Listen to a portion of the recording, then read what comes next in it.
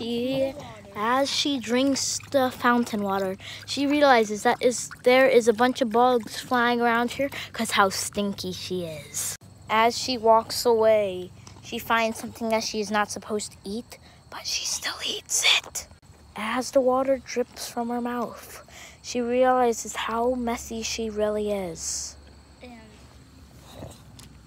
she says,